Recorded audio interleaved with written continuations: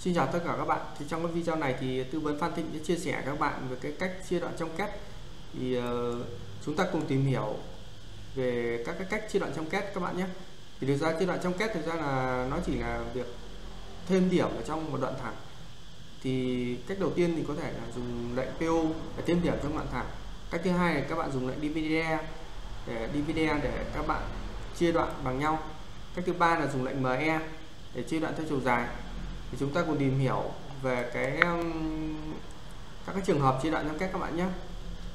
Thì ờ, cái trường hợp đầu tiên, tức là chúng ta thêm điểm vào trong một đoạn thẳng, hoặc thêm điểm vào trong một cái hình tròn hoặc là một cái cung tròn. Ví dụ khi chúng ta vẽ một đường thẳng line, thì là để mà chia một cái đoạn thẳng đấy ra thì chúng ta có thể thêm trực tiếp điểm bằng lệnh PO các bạn nhé.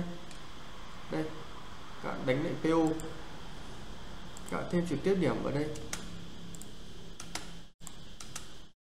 Sau đó từ các điểm này các bạn có thể là vẽ từ các điểm này đến để tạo ra một cái hình khối nào đó. Thì ờ, ờ, đấy là cái cách đầu tiên để chúng ta có thể chia đoạn thẳng.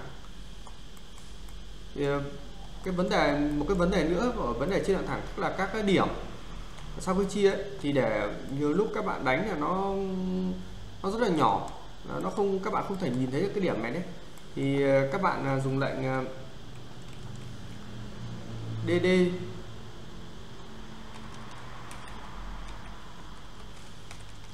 đây các bạn dùng lệnh nhé. DDP tai các bạn nhé. P tai các bạn nhé. DDP tai đấy thì ờ, đây, ở đấy các bạn chọn ờ, các cái kiểu điểm và cái kích cỡ sai thì ở đây tôi chọn là 5 phần trăm. Đấy thì khi các bạn chọn ok, tức là 5 phần trăm là của ấy khung nhìn đấy.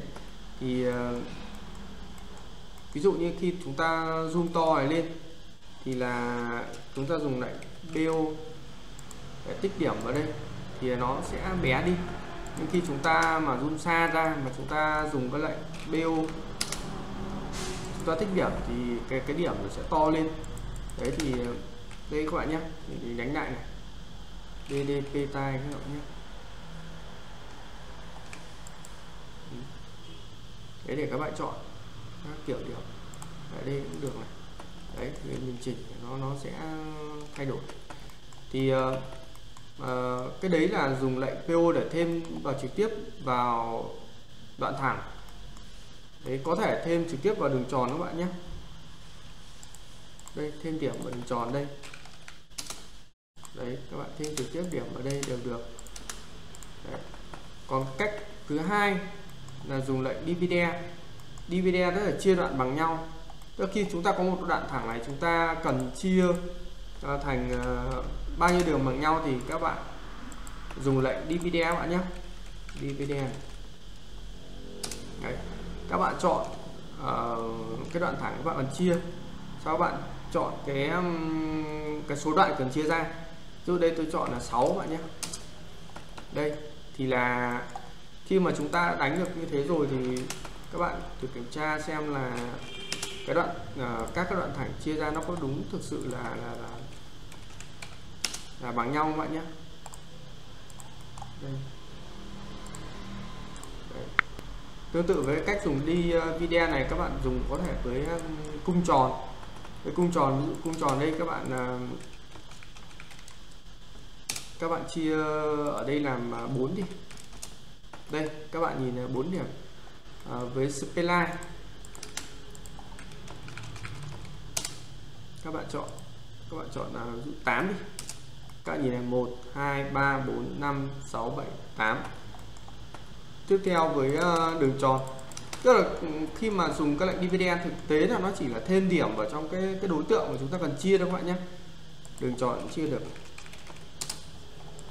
Đấy, chia là 5 đây 5 5 đoạn. Đấy thực tế nó là như thế thôi. Đây nó chia hình chữ nhật. Hình chữ nhật.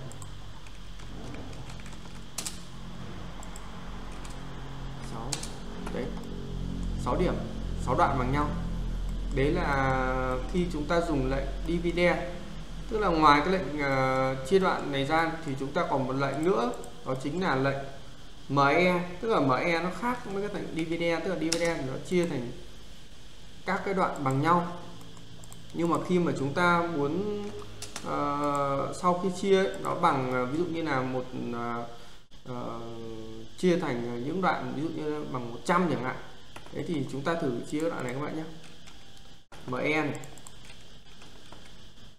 các bạn đánh mệnh ME đây nhé các bạn chọn đường thẳng các bạn chọn uh, cái chiều dài mà các bạn muốn chia. Là trăm này. Đấy. Thì như này thì nó hơi lớn thì chúng ta cứ thử và xem. Như này nếu hơi bé thì bạn thử xem. Đây 100 100 này thì nó hơi ấy chúng ta thử, uh, thử nhỏ tí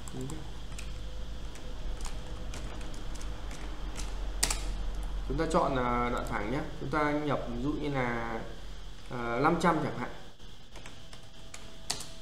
Đây.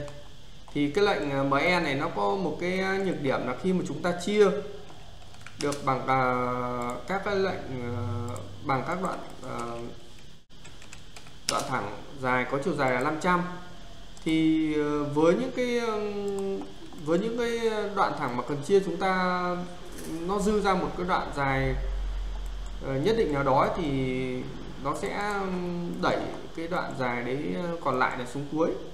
Thì tức là như ở đây chúng ta chia được 3 đoạn 500 và một đoạn là 223 đấy thì còn ờ, thì cái lệnh này nó khác cái lệnh DVD bên trên. Bên trên thì các bạn chia bằng các đoạn uh, thẳng bằng nhau tức là cái số 287 này các bạn chưa biết các bạn chỉ cần chia được 6 đoạn bằng nhau thì nó tự sẽ ra được cái số 287 này.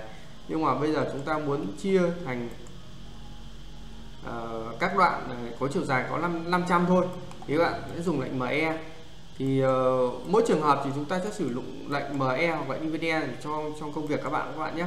Thì uh, cảm ơn các bạn đã theo dõi video. Thì uh, bây giờ các bạn uh, hãy đăng ký và like kênh ủng hộ uh, Tuấn Tinh các bạn nhé. Xin uh, trân trọng cảm ơn.